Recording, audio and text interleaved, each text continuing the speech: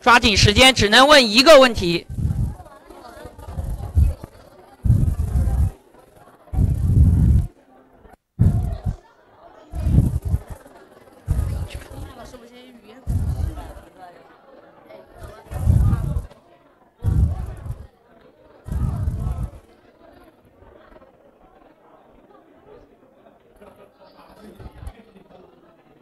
你去了吗？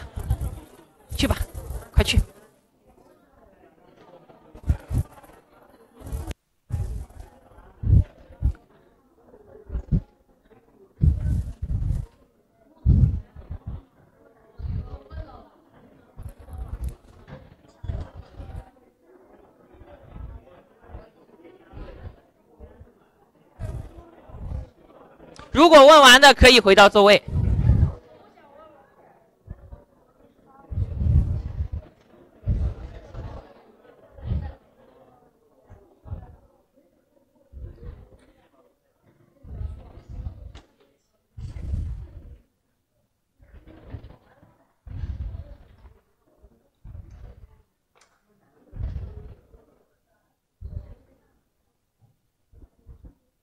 好，在大家来反馈之前，我知道现在有很多人有很多话想说，先等一等，我先调查一下我们班谁的嗓门最大，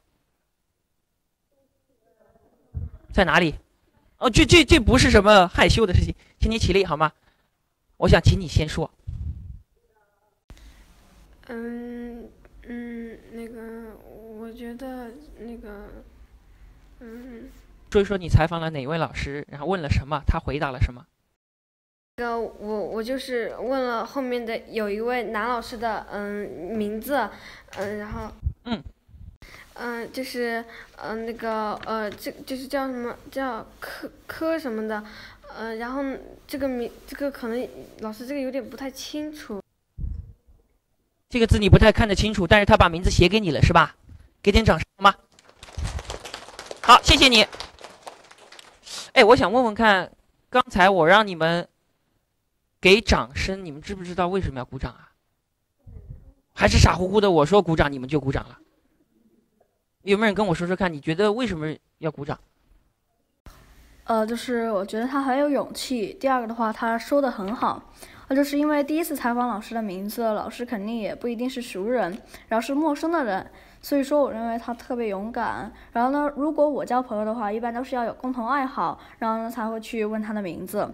呃，他的发言很好，所以我要给他掌声。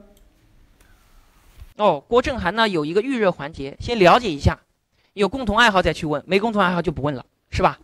然后你就觉得他比较勇敢，所以给他掌声。还有吗？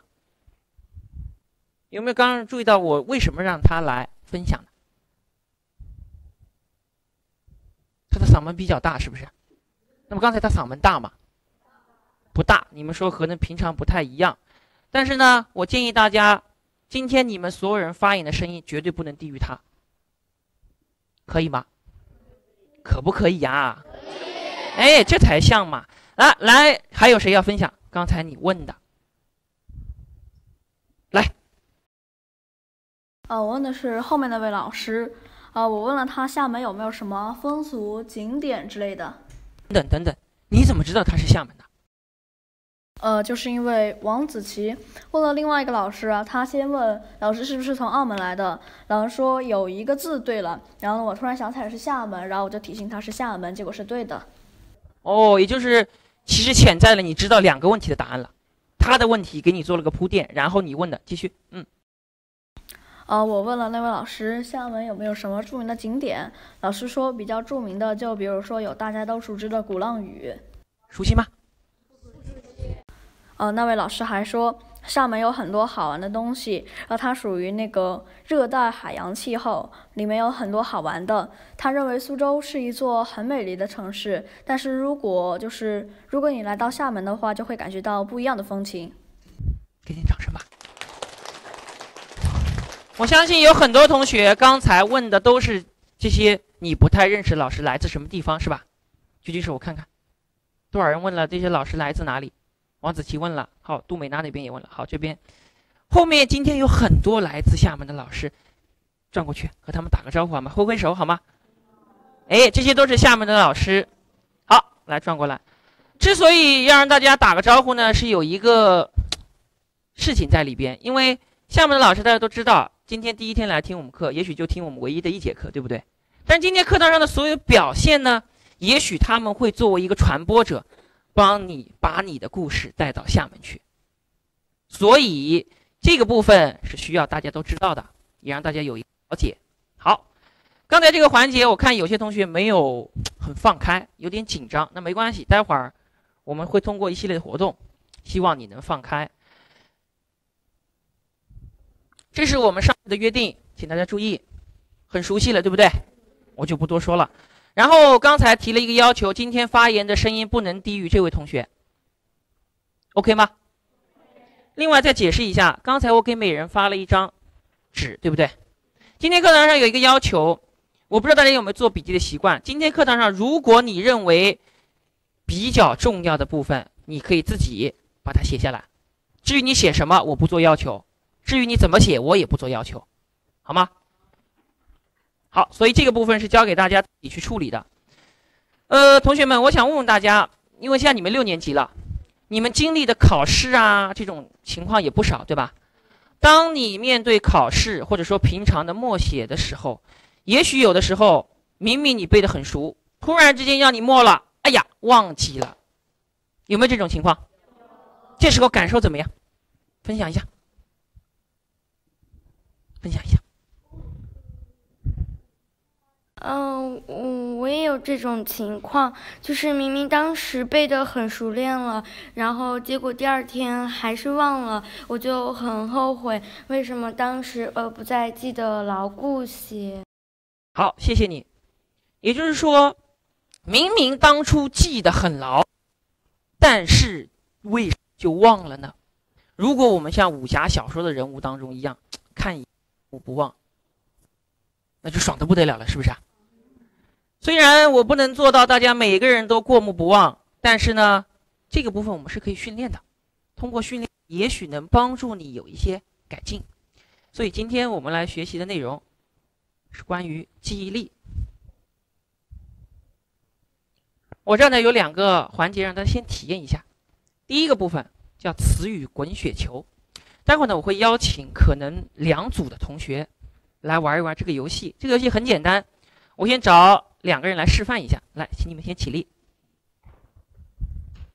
好，三个 OK 没问题，你也起立。等一会儿呢是这么操作的，词语滚雪球，我们知道滚得越来越大，对吧？那么从第一个人开始，先说一个词语。这个词语我有一个要求，一定是名词。懂什么叫名词吗？表示一样东西或者一个名称，对不对？比如他说一个足球，好，那你要接的时候很简单，先把足球说一说，然后再加一个自己的词语，随便什么都 OK。比如说足球、手机，那么他要第一个说足球，然后等到他就是足球、手机，然后等到他就是足球、手机，你想说什么？篮球、足球、手机、篮球，等到第四个，这个球就更大了。清楚规则吗？好，谢谢你们，请坐。哪一组要来试试？哦，有点害怕，这没关系。看看有没有哪组都举手，我找都举手或者举手人比较多的。哦，那一组都举手了，太棒了。待会儿等轮到你说的时候，拿着麦克风起立，稍微大声一点。其他同学呢，请你做个评委。当中不能有人犯规，对，帮我听好，哪里出错，请你马上告诉我。你们都清楚规则吗？这组说完，一二三四五六六个，如果还能继续，请这一组接下去，好吗？也就是第七个，准备好了吗？好，开始吧。乒乓球拍，乒乓球拍，足球。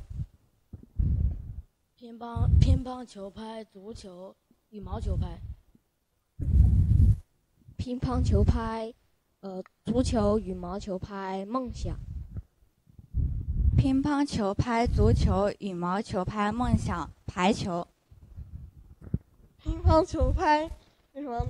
乒乓球拍，什么什么？篮球拍，乒乓球拍，足球，羽毛球拍，梦想，排球。篮球，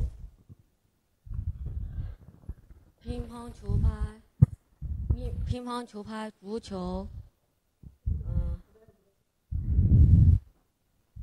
乒乓球拍，还记得吗？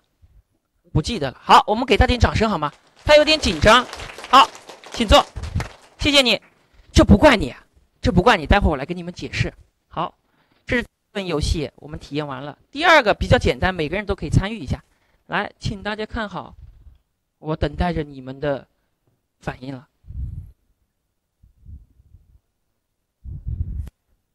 太简单了，是不是？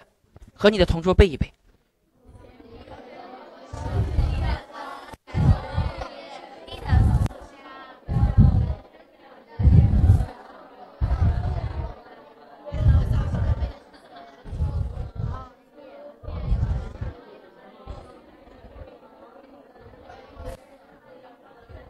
好，能不能告诉我，如果你的同桌能背出来的举手？都能背出来是吧？好，我听到大家有的背的是《静夜思》，有的背的是《咏鹅》，诸如此类的都有。但是这两轮游戏过后，你有没有发现有一个很有趣的现象？好像有些东西是我们刚刚接触的，但是我们记的东西不太多。刚才记了六个词语，是吧？到第七个同学就记不住了。而这个部分好像离我们现在时间比较长，是不是啊？我小时候，但是我记得清清楚楚，好像这里边有点意思，是吧？好，那跟大家来解释一下。第一个游戏呢，我可以把这个部分在我们心理学上叫做短时记忆，也就是我们很短的时间要记住一些东西。拿我为例子，我也经历过很多考试，我会在考试前拼命的复习，像大家一样，拼命的复习，拼命的复习，拼命的背东西。等到考试考完过后，全忘了。你们有这种经历吧？好，这就属于我们所说的短时记，但但是它需要有一些容量，不是你记忆所有的东西。而这个部分呢，相当于我所说的，或者说心理学上所说的，叫长时记忆。长时记忆就是它会一直记在你的脑袋里。比如说你们刚刚背的古诗，你记得很牢，不会忘记吧？不会。而且呢，最关键的是，长时记忆它有一个特点，它的容量是无限的，你想记多少就记多少。但是问题来了，我们到底如何把短时记忆变成长时记忆呢？这就是我们这节课要来研究的，也许和记忆方法有关。好，请大家先别记了，我这儿呢有个视频，请你看看视频当中。有些专家研究的记忆方法告诉我们了哪些？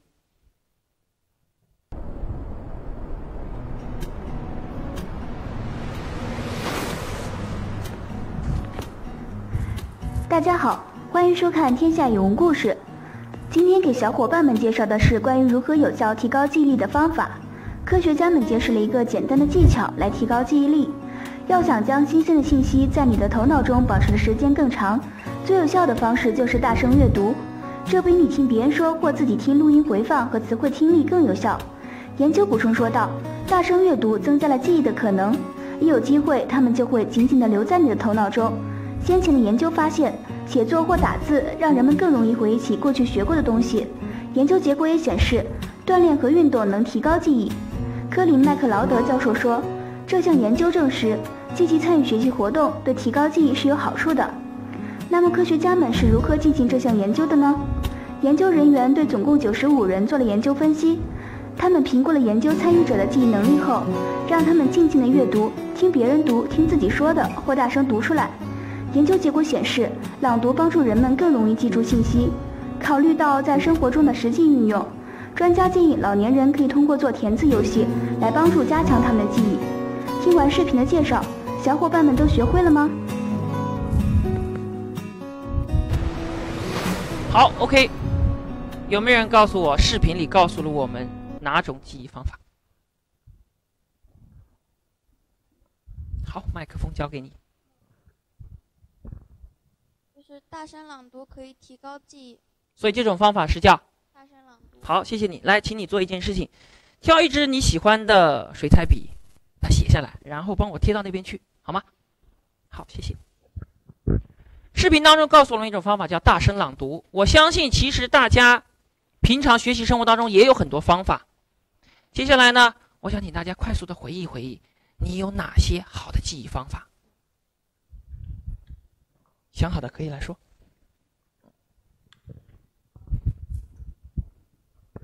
比如说前段时间我正好背过一些古诗，然后呢，就是背古诗的话，就是我一般都是这样的，就比如说第一天，比如说在学校里早上学习了，然后晚上回家我先复习两遍，然后之后再睡觉，睡觉之后早上起来，然后早起再背两遍，然后之后呢到学校再背两遍，然后呢之后就这样一直背一直背，然后到第三天的时候再背的话，你就发现你会记得很熟。这个方法你能不能给它起个名字？呃，复习吧，还复习记忆。嗯，好，来吧，把它写下来。还有没有什么方法？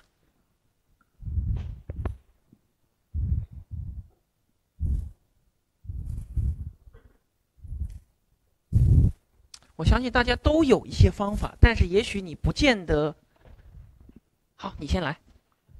呃，我就是一般都是，呃，就是比如说有一个东西，然后先先读一遍，然后感觉没什么用的话，就可以录下来，然后反复的听。能不能起个名字？把它录下来，然后反复的听。你想一个名字写下来好吗？刚才你也举手了，对，好，女士优先。嗯，我的是就是，比如说我像刚刚那轮游戏一样，就是记一些就是没有关联的词语，然后我就是会想一些句子，然后把它们都组成在一个句子里面，然后呢就让它们有关联，可以给它起个名字吗关联记忆。？OK，谢谢，很好，来吧。好，这次轮到你了。我一般的话大点声。呃，我一般的话都是通过我看的动画片之后，跟要背的东西联想起来，再进行记忆。有没有起个名字？呃，图像记忆吧。好，OK，没问题。看来我们六三班很厉害啊，有好多记忆方法。还有没有？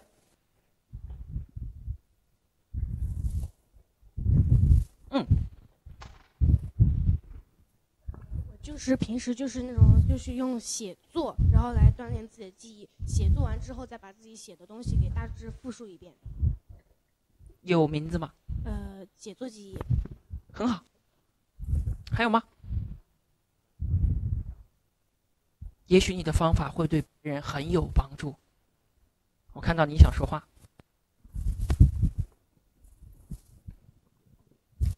我的这个方式呢，就是比如说默写嘛，你就要记一个手古诗，然后先默下来。如果说就是如果一遍的默下来，如果有错的话，就是把那些错的就再看一遍，就比较容易记住了。嗯，有名字吗？起个名字写下来好吗？还有吗？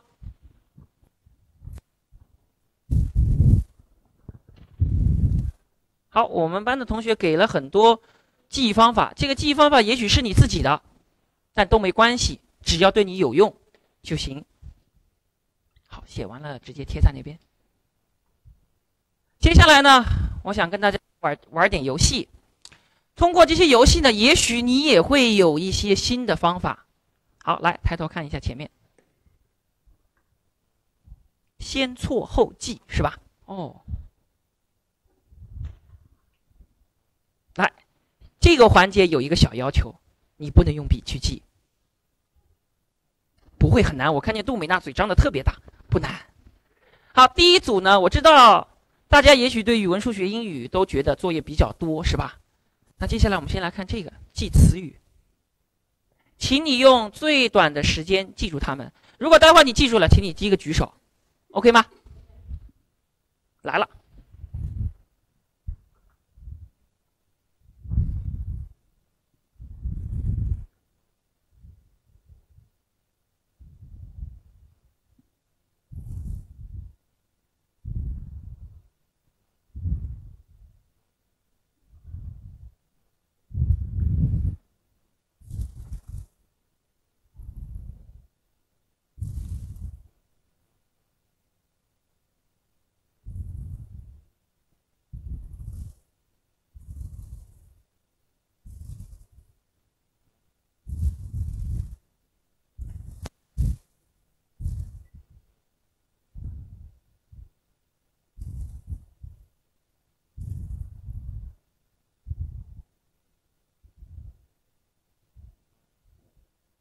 哦，第一个好了，来试一下好吗？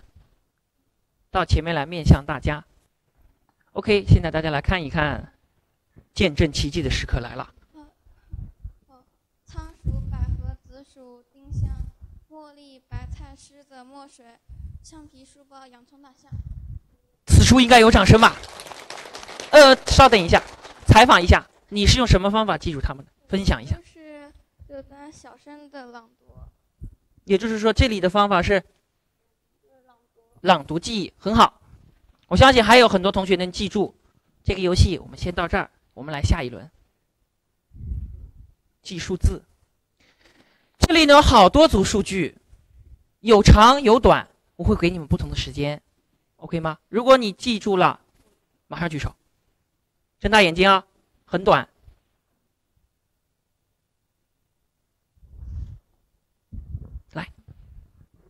九零零八二六，要要有点掌声吧。呃，问一下，你是用什么方法记住的？突然间看一下，有没有有其他方法？你就是直接靠这个数字不多，看一下就记住了，是吧？嗯。发现我有一种方法，就是有一点类似于图像记忆的。然后就是到时候的话，就是我会就是首先是先把目光集中，然后稍微眨两下眼睛，然后就是把那个图像就是大概的存储在大脑里。大概有那个三到四秒钟的时间不会忘记适合短时间。呃，属于刚才说的这个图像记忆嘛，就相当于你把这个东西拍个照，把它作为图片记到脑袋里，是吧？哦，特别棒，这个方法。好，第一组看了数据都很简单，大多数同学应该都没问题吧？接下来又来了，要加长了，准备好吗？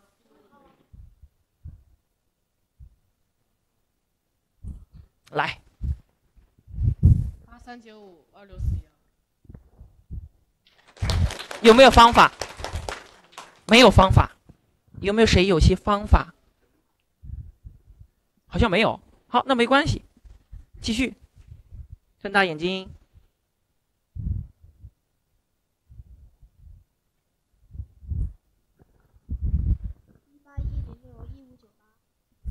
对吧？看一眼，对吧？来，先鼓鼓掌。好，有没有什么技巧在里面？呃，就是看到数字之后不断眨眼睛，然后往白的方向看，那个数字就会显到白的地方。哦，就好像有点玄乎说的是吧？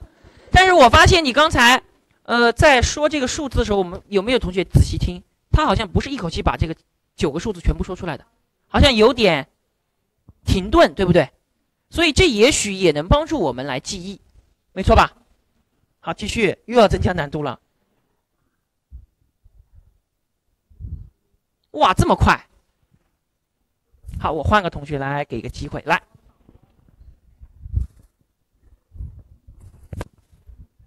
哦，谁还记得？谁还记得？试一下吧，没关系，说错没关系。想不起来了，这两位看来记忆很很厉害啊，忘了，我觉得有点不自信。呃，应该是幺三七七幺八九零四幺四。看一下，看一下，对吗？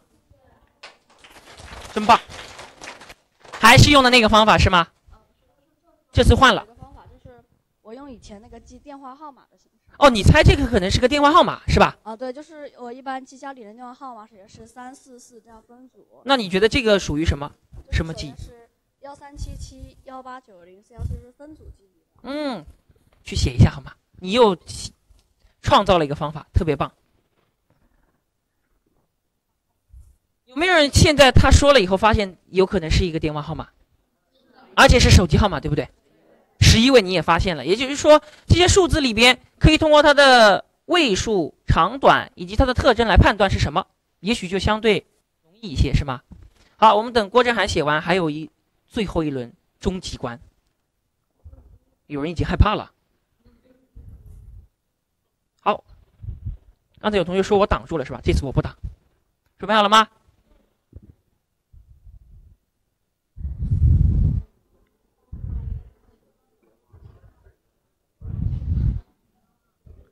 有一个人最快，不行，忘了。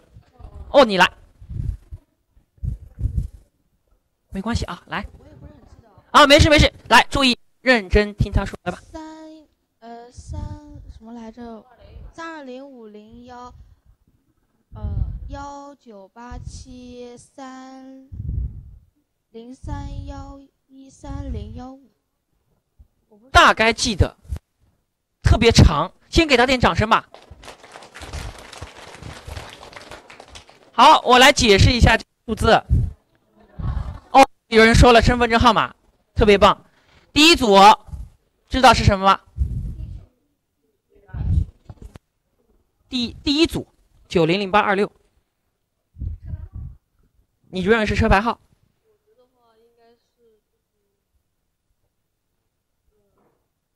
不太说得出来。第一组呢，我们常用来用作是出生年月的格式，前面两位是年月日，但是我不是这么用的，这是我银行卡的密码。好，第二组，这个是我的办公室的座机电话，对，他说对了。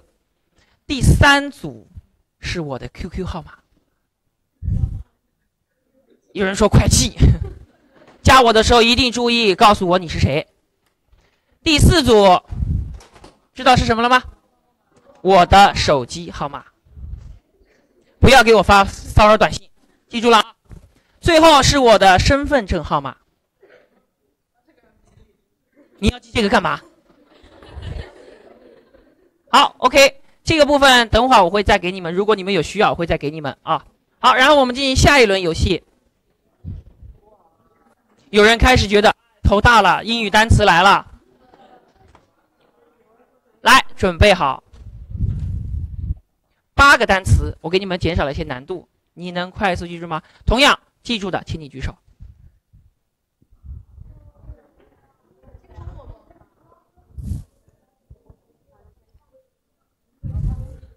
什么？有人放弃了？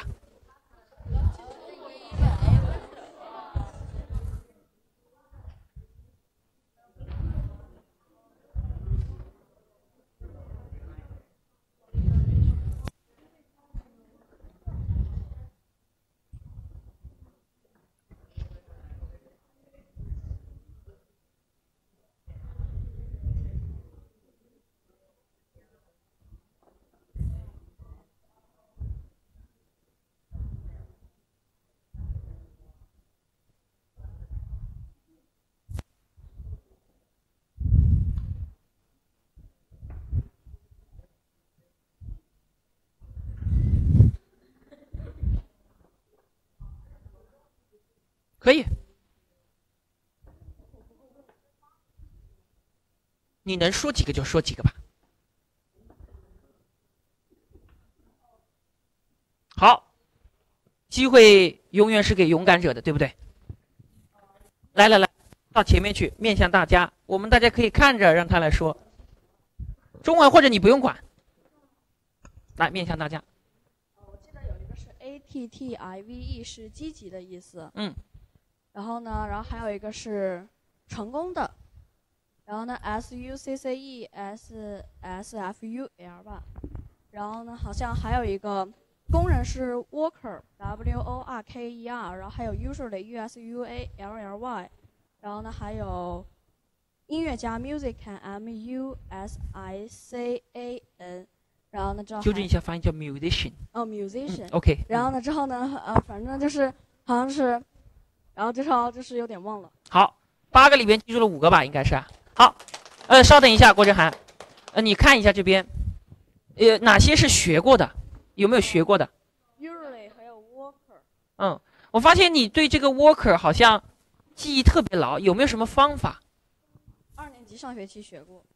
年级上学期就学过了。好，谢谢。包括这个 successful，是不是有点规律在里面？是的，你说说这个“是的”到底是什么？呃，因为我觉得它第一个字母是那个第一个字母，然后那个第二个字母是没有规律的，然后剩下几个字母除了那个 F U L，其他都是感觉就是读音很像的。哦，那这个属不属于什么你的方法独门秘方？规律？我就是直接记的。哦，OK，好，好，其实英语单词当中有很多是有一些规律的，比如说这个 successful，success 加 f u l，你会发现有很多东西都是这样组成的。比如说 worker，work 加 e r，就表示从动词变成了名词，所以这个也许也是你们的方法。好，英语单词好像给大家带来了一些困扰，接下来我们来个轻松的，好吗？记段落，这段落不会特别长，我等待着你们的笑声了。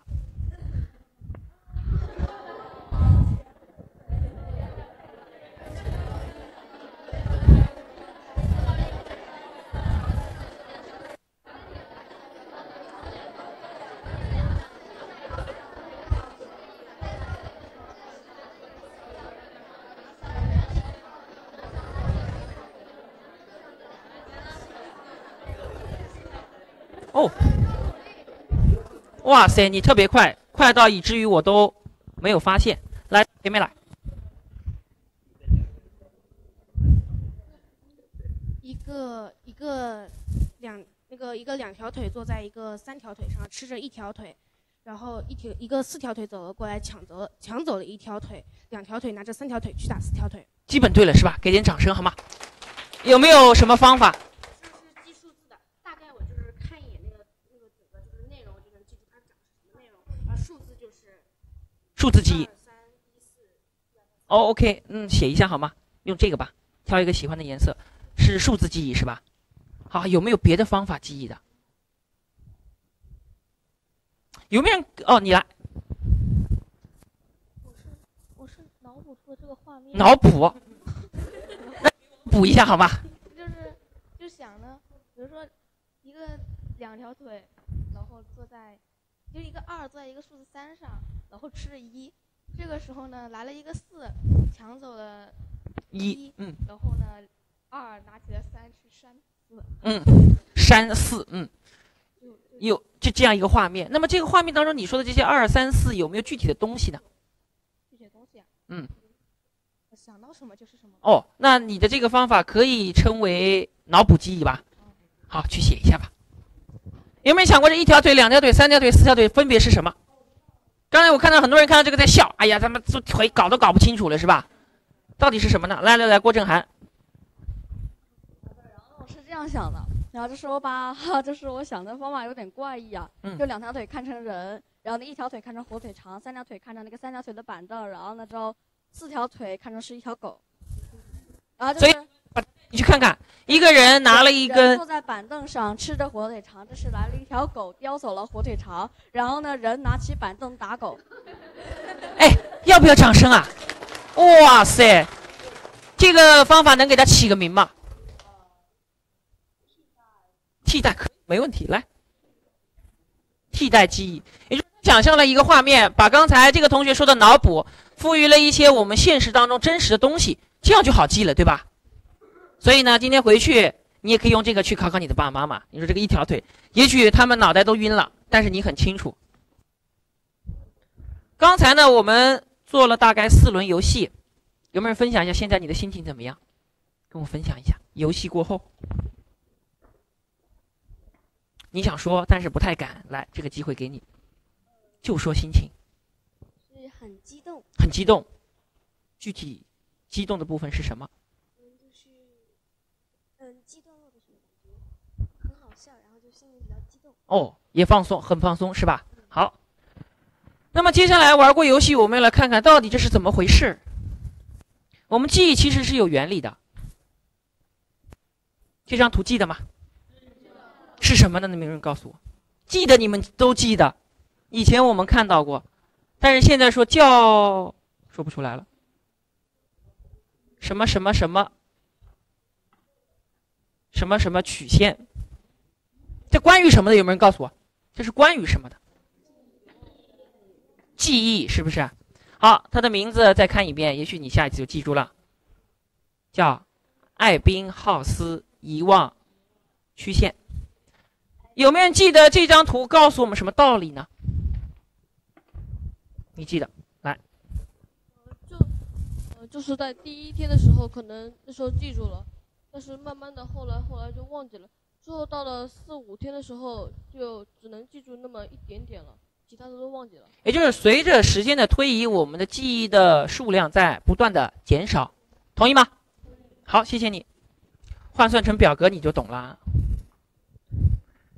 看看是不是王子琪所说的这个部分？刚刚记忆完记得最牢，时间长了，慢慢的就开始忘了，逐步逐步的遗忘。但是忘到后面好像差不多了，因为没什么好忘的了，没错吧？好，我给你换一张图，请你看看有什么发现。这是我们心理学家绘制的遗忘曲线，请你两张图对比一下，看看你有什么发现，来告诉我。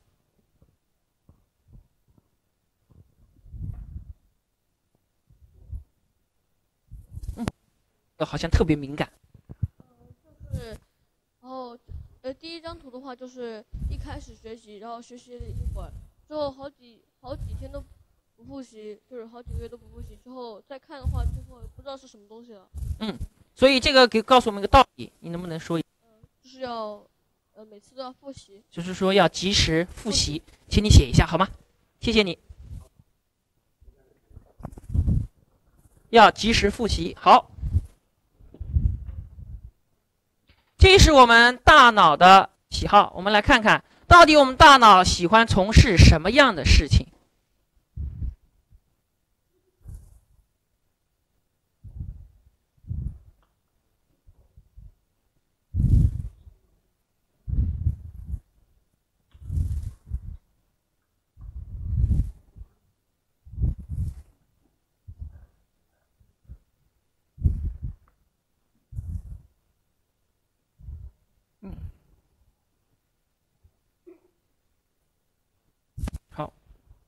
可能时间关系，大家必须要快速的去看一看，因为我们马上有紧急疏散演习，对吧？你可以看一看我们大脑的这些记忆的部分。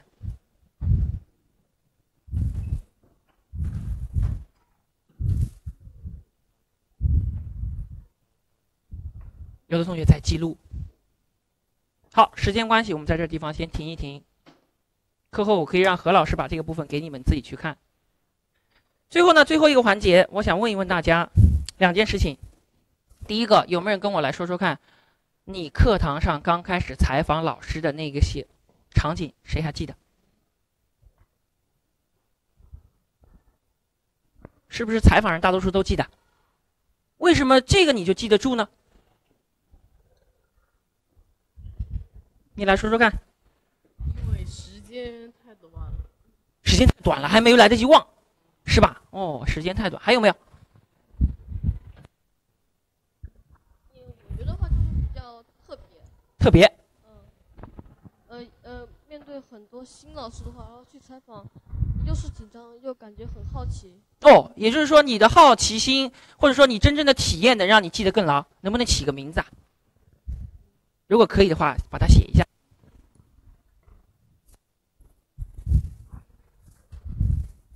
我们第一次在这种环境下采访老师，就像我幼儿园第一天上学的时候，我也记得很深刻。就是印象特别深刻，有没有能给我们总结一个方法？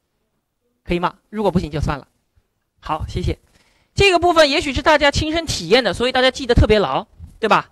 好，再有第二件事情，我想问问大家：现在拿出你的这张纸，看看你记了些什么。并且为什么你要记这些东西？有没有人来说？哎，王月军记了很多，来说说看。我觉得吧，就是每一次学习，只要是有笔记的话，就可以让自己记住老师讲这些东西。听这些东西对我们是挺有用的。也就是说，你用的记忆方法是用做笔记，去写一下好吗？他用的方法是做笔记。我们有句话说的叫“好记性不如”，所以这也是一个记忆方法，对吗？好。那么，请你可以看看你的这张记录纸，有没有人分享一下这堂课你有什么收获？呃，我知道了如何就是进行常识记忆，因为我现在几乎是我连我们班有些人的名字都记不得，但现在我可以用这些方法来记住。此处应该有掌声吧？谢谢你，很好，再给一个机会，再给一个机会，好。这节课的收获的话，主要就是首先第一点也是会了常识记忆，然后之后呢还学会了就是能如何提高记忆力、提升记忆力的方法，然后呢之后还知道大脑的喜好是什么，还学会了那个艾宾浩斯的遗忘曲线，然后最重要的是还学会了，还知道了唐老师的 QQ 号和银行卡号。银行卡密码，密码但是卡号我一定不会给你。好，看来大家课收获很大。我也希望通过这堂课，通过记忆力的训练，能帮助大家在我们可能小学阶段最后的学习当中，能提高一些学习效率，并且取得一些比较好的成绩。好，今天这堂课就上到这里，下课。好，同学们再见。好，向后转和我们的厦门的老师告别，好吗？好，谢谢。好。